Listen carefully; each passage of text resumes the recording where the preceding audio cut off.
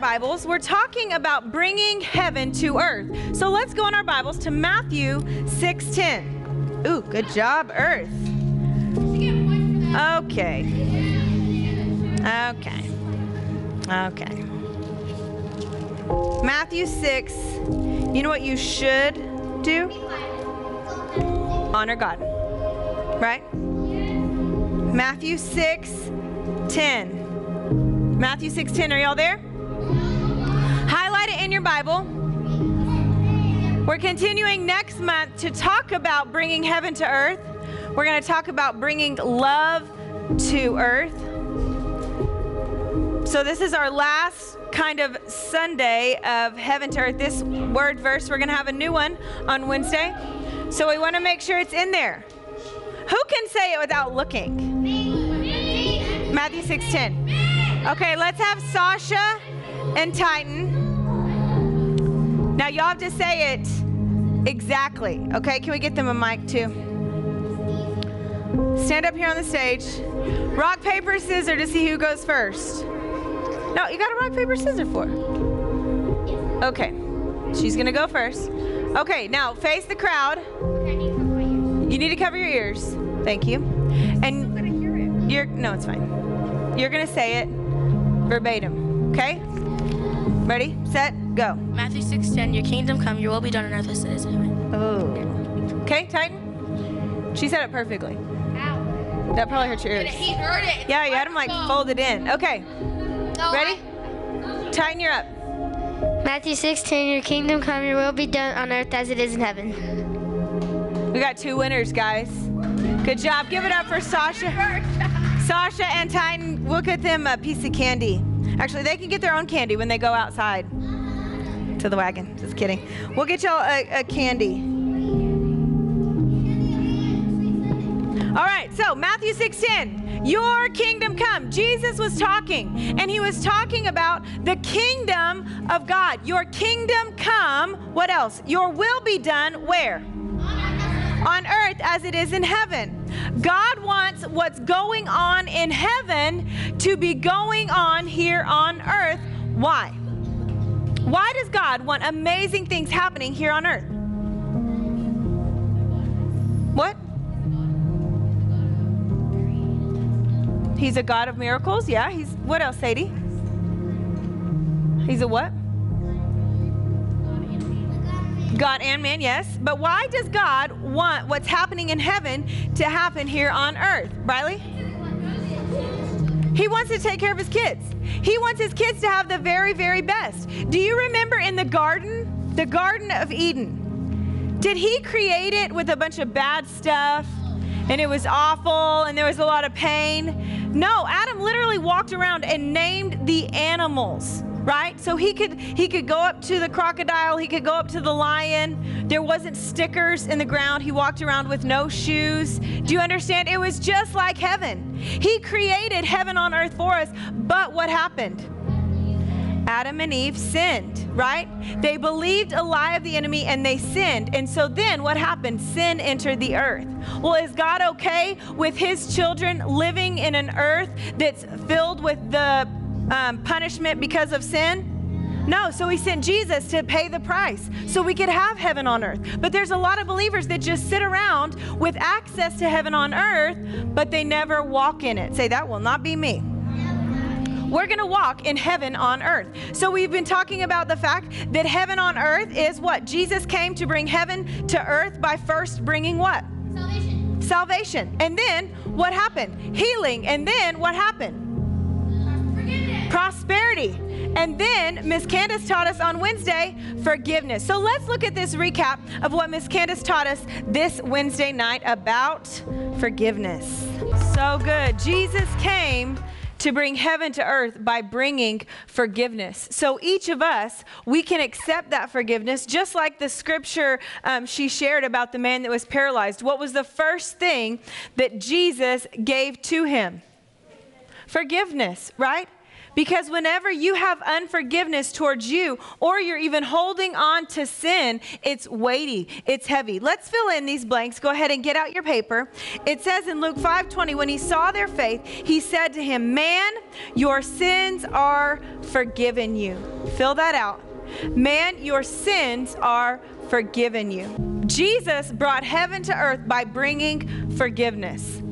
The Bible says he forgives our sins and removes them as far as the east is from the west. He does not remind you about your sins. When you humble yourself and confess your sins, what does he do? He's faithful and just to forgive. And he doesn't just forgive, what else? He forgets. He forgives and he forgets. Now, here's the thing if you don't go to the Father and confess all, say, confess all, then there's going to be room for the enemy to still weigh you down with sin. When Jesus forgives you, when you confess your sins before Him, He forgives you. Then, when the enemy tries to remind you, what do you do? You remind him, No, I confess that. I confess that. I, I went to God and I went to my mom and I told her that I had done that, right? So there's no reason to be paranoid. There's no reason to hide, right? I already confessed that. Why? So whenever you confess it, you receive forgiveness. And then that forgiveness frees you up. Trapped in sin weighs you down. And trapped in unforgiveness weighs you down. I don't want to be weighed down, right? I want to be free to do all that God has called me to do. Let's look at this next blank. It says this Jesus wanted the people to know when, he when they came to him, they could receive forgiveness. Jesus wanted the people to know that when they came to him, or he came to them, either way, they could receive forgiveness. This is what Jesus has for us. This is what God has available for us forgiveness. Say forgiveness. How many of y'all have ever gone to the Father and asked Him to forgive you? Raise your hand. You've gone to the Father, you messed up, and you asked Him to forgive you. That's everybody, right? Haven't we all messed up? Have we all asked the Father for forgiveness? What did He say whenever you went to Him? I forgive you.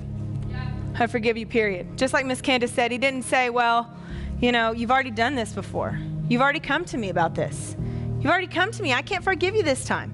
I'm, I'm going to I'm gonna go to my room. I can't forgive you right away. Did he ever say that to you? No. Y'all, he forgives right away. Do you understand? He forgives right away. What you do with that forgiveness, guess what? That's on you. You have to choose to receive that forgiveness and then make a change. Let's go on. 1 John 1 9. If we confess our sins, he is faithful and just to forgive us our sins and to cleanse us from all what? Unrighteousness. Unrighteousness. We have all been made the righteousness of God in Christ Jesus. But if our life does not reflect that righteousness, then we open the door for the enemy because of our unrighteousness, because of the activity of our life. The fruit we're producing is either righteous or unrighteous. Do you understand? So we set ourselves up. So that's why we go to him and we ask for forgiveness. You know, there's some people that preach, well, you don't have to confess your sin, you don't have to ask for forgiveness. That goes against the word of God.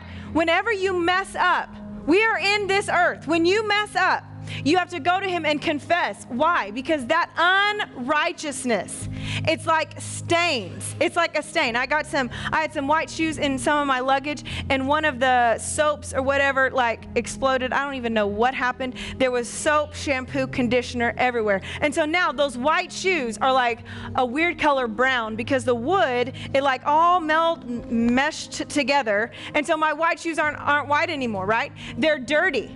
They were white, but what happened? They came in contact with something that made them dirty. And so I'm not just going to walk around and say, well, they were white, they were white, they were white. Jesus made them white, Jesus made them white. No, they're dirty, bro. They're brown. This is what it looks like. And so I have to say, okay, these shoes are now tan, and I'm going to get them clean so they can be back to white. You have to say, okay, this action, this attitude, this word, whatever I did, whatever I said, that was wrong. And yes, Jesus had made me righteous, but the activity of my life, just made me look dirty. And I don't want to stay dirty. I want to reflect the righteousness that He's made me. So I confess my sins. And then what? He's faithful to forgive and cleanse from un- unrighteousness. Now, here's the thing when you receive forgiveness from the Father, it is up to you to do something with that forgiveness. You don't just say, okay, I'm forgiven, His grace, and continue doing the same thing. Just like with your parents, whenever you go to them and you say, you know what, I, I lied, I, I, didn't, I didn't really clean my room, or I didn't really do my homework, or I didn't really do this, please forgive me. What are they going to say? I forgive you. My mom would always say, I forgive you, but don't do it again. Hello, right? That's what she would say to me. And so I had a choice. I had to do something with her forgiveness. I could either make a change and not do it again, or I could say, you know what, my mom loves me and I'm her daughter. She won't kick me out. You know, I'm in third grade. She won't kick me out. So I can do it again. And then I keep doing it over and over again. And here's the thing your parents will forgive you over and over again. But what are you doing? You're setting yourself up to not be blessed. Because just because God is gracious, God cannot go against His word. God cannot, cannot go against what He set in place. Do you understand? You reap what you sow. He can't change that. Just like God's not going to change gravity. Do you understand? While the earth remains, like there's going to be gravity. There's going to be summer and winter. There's going to be seed time and harvest. That's that's already settled. That's already done. So just because you come to church and you mess up, you ask for forgiveness, you ask for forgiveness, you're still going to you're setting yourself up. So you have to do something with that forgiveness. You have to say, "You know what, God? I'm so grateful that you forgave me. I'm so grateful that I had an opportunity to humble myself before you. You are so good, God. God, I want to do something with that. I want to give that same forgiveness to other people. I want to bring that to earth. Look what it goes on to say. In order to forgive others, we have to receive forgiveness ourselves. So, what is that going to require? How do I receive forgiveness from God? How do I do it? Who can tell me? How do I receive forgiveness from God? How do I receive forgiveness from God? Ellis? I have to ask Him, right? I have to humble myself, confess my sins, right? And He is faithful to forgive.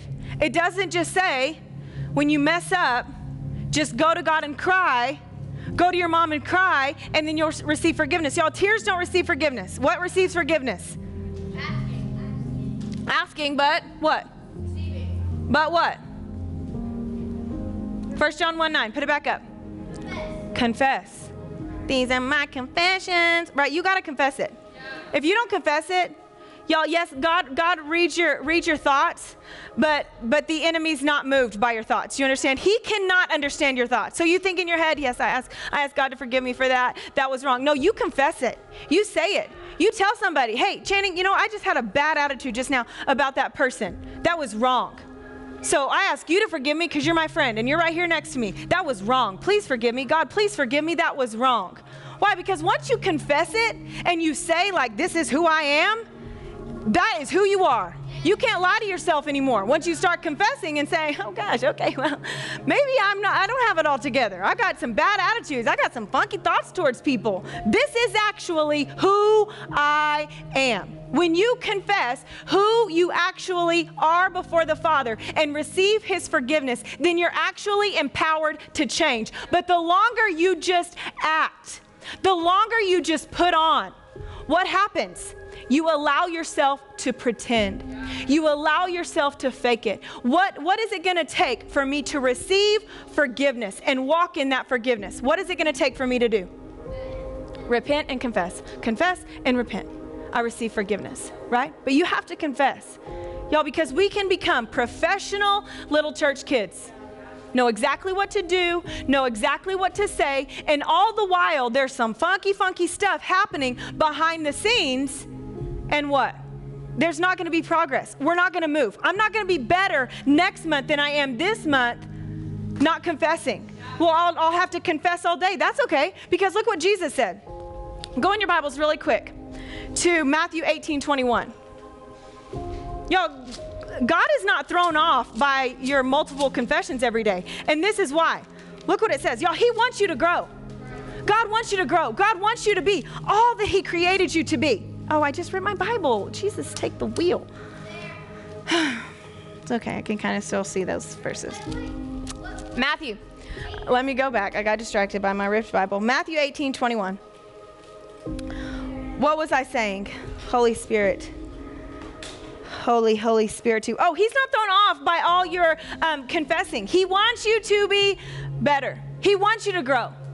He wants you to walk in all that heaven has available for you. He wants you to walk in all that He deposited on the inside of you. But guess what? You don't just walk in all of heaven living in all of hell, living and accessing and relying on all of earth. You're not going to do it.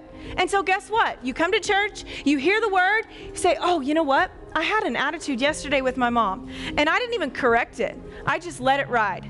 But once you sat down in church or you sat down in your quiet time, you realize, gosh, I don't need to have a bad attitude with my mom. I don't care what she did. I don't care what she said to me. I don't need to have a bad attitude. So I'm going to go back. I'm going to say, Mom, will you please forgive me for that? God, will you also please forgive me for allowing myself to have a bad attitude?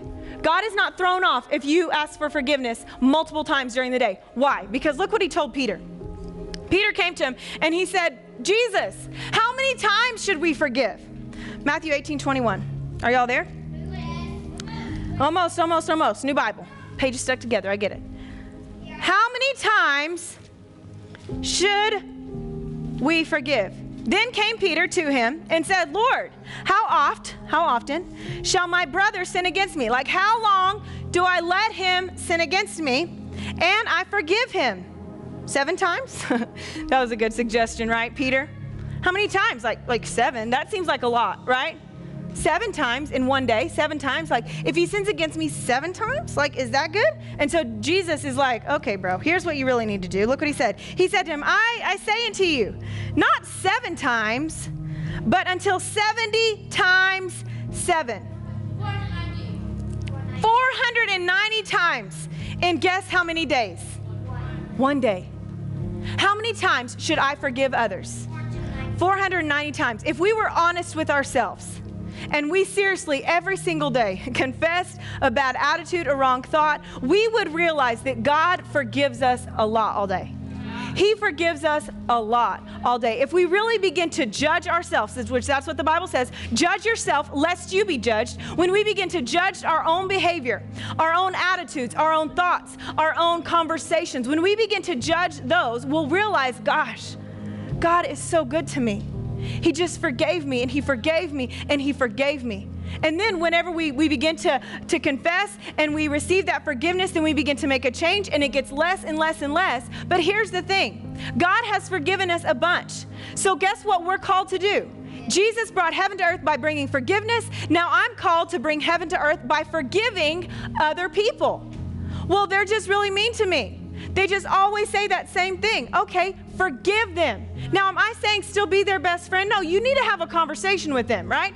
If your best friend is constantly like talking bad about you, talking about you behind your back, you have to go to them humbly and say, hey, I love you. I want to be your friend. But I know that both of us love God and this isn't going to work in our relationship with God, us talking bad about each other or us being mad at each other. And so something's got to change. And here's the thing once you forgive some people, guys, the relationship might not ever be the same, and that's okay. That's okay. You and him, guess what? Always the same. You and him, always the same. Okay? But you just forgive. Well, I forgave them, and now they don't want to be my friend. That's okay. You're free. See, holding on to unforgiveness is like if, um, let's say Haley did something really, really mean to me, okay? Yes. Huh, Haley. Haley was so mean to me, okay? She spit on my dog. Yeah, it was rude. And then she threw poop in my house. She was mean to me. So I want to get her back. And I'm mad at her now. I'm so mad at her. So, guess what unforgiveness is? My unwillingness to forgive her for doing it. Guess what it does? It's like me eating poison, but expecting her to be sick.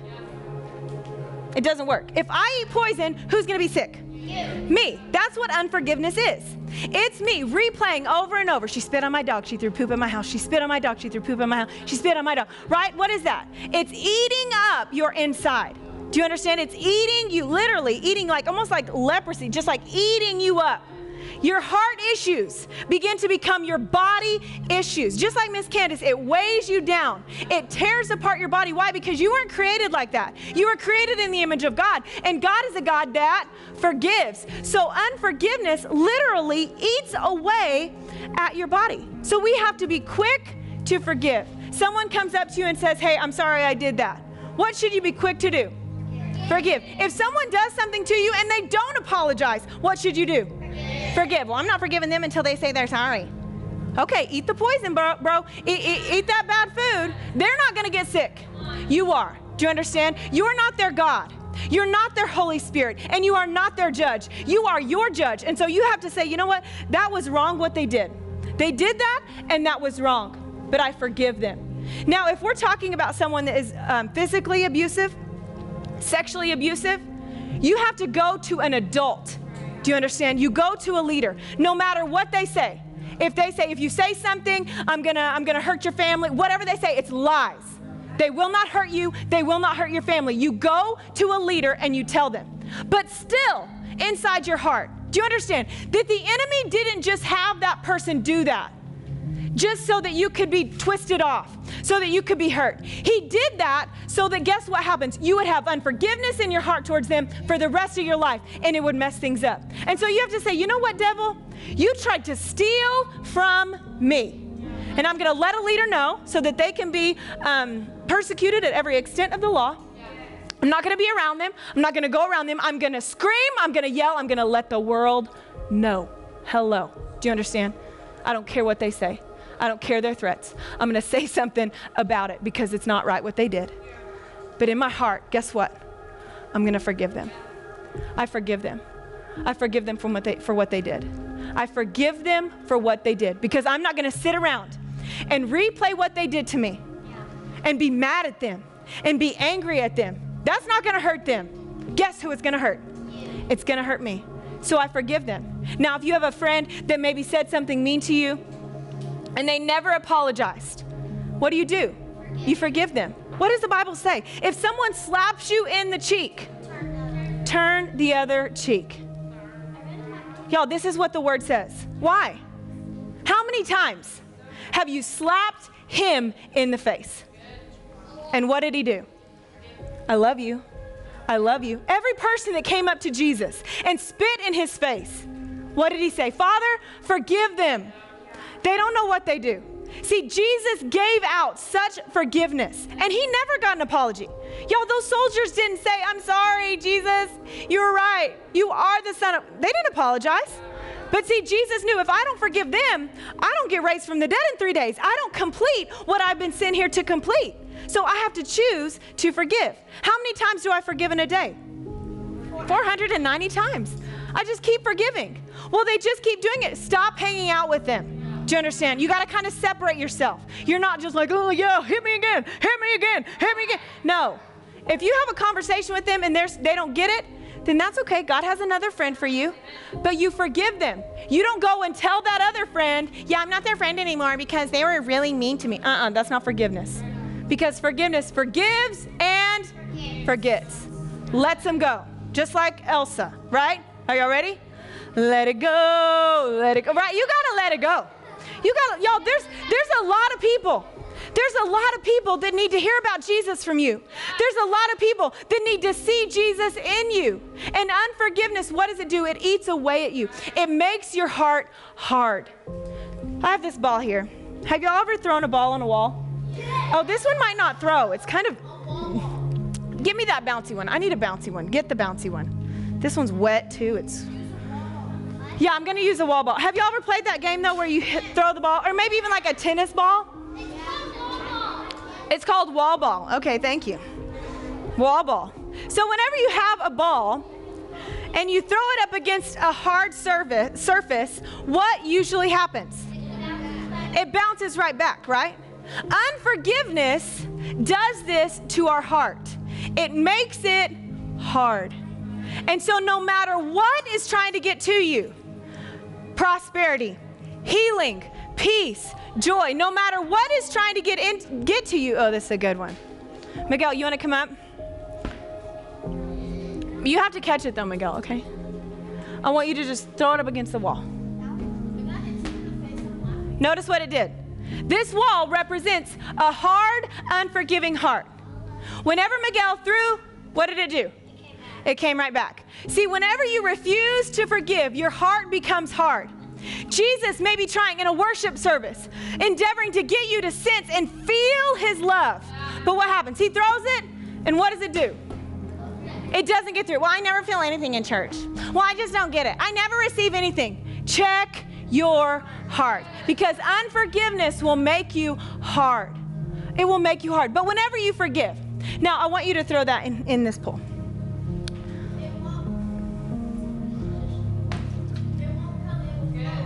Y'all, I won't even come back. It's just, it's just gonna chill. Try, you wanna try it again? Y'all, he's even trying to throw it hard. Like, oh, you can't do it, Miguel. So he tries to throw it, and what happens it's not coming back. This is the kind of heart we should have a soft heart. But y'all, the enemy wants us to be hard so that when someone comes across our path and they need Jesus, we're still mad about so and so that said we were fat or said we were ugly. Get over it. Let it go. You know what I mean? Who cares what someone says? Who cares if someone says you're fat? Who cares? Honestly, who cares? Does anybody care? No. Is God like concerned? Is God up in heaven saying, "Oh yeah, yeah, my kids are pretty fat"? No. If God's not, I'm not going to be moved, right? Oh yeah, yeah, they they they failed that test, you know, and they they they're a dummy. They're a dummy. Their friend said they're a dummy. No. Let it go.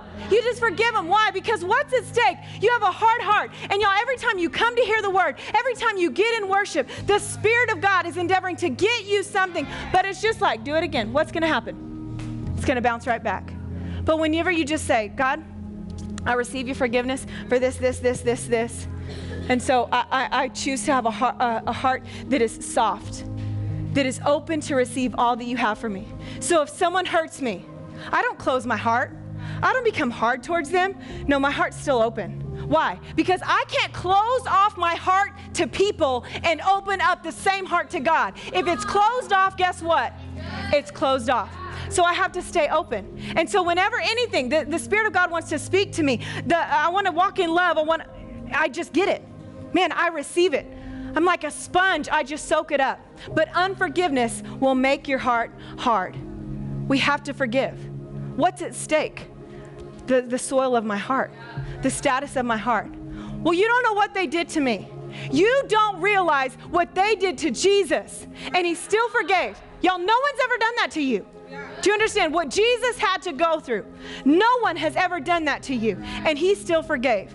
So, guess what? I can forgive too. Yeah, that person was wrong, and, and so I, I forgive them. I'm gonna have a conversation with them. If things don't change, that's okay. The relationship might change, and that's okay. I'm gonna forgive them. Well, my dad said he was gonna be there, and he never shows up. I forgive him. I forgive him. He can make me promise after promise, but I forgive him. I'm not gonna be mad. Because guess what? Me being mad, it doesn't hurt my dad. It hurts me. My dad has his own stuff. I'm going to pray for my dad. God, I thank you that the eyes of his understanding are open. God, that he sees your love. That whatever happened to him that made him make promises he doesn't keep, God, I thank you that you'll show it to him. You'll reveal yourself to him in a real way. Do you understand? But whenever you haven't forgiven, you're hard. So you can't share love. You can't receive love. You can't be all that God's called you to be.